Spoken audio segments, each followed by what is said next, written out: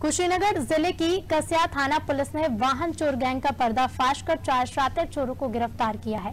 इनके कब्जे से चोरी की 12 मोटरसाइकिल जब्त की गई हैं। ये बदमाश बैरिया चौराहे के पास से वाहन चोरी की घटना में शामिल थे। चारों आरोपी कुशीनगर के रहने वाले हैं। चोरी के अन्य मामलों को लेकर भी पूछताछ की जा रही है।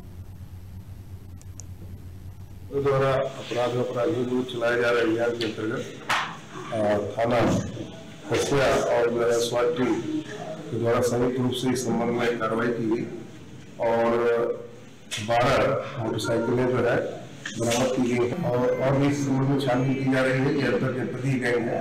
इसने कई आस पास के जनपदों में भी चोरी की है। इस संबंध में और गहन छानबीन की जा रही है। कहाँ है, इस तरह का अपराध किया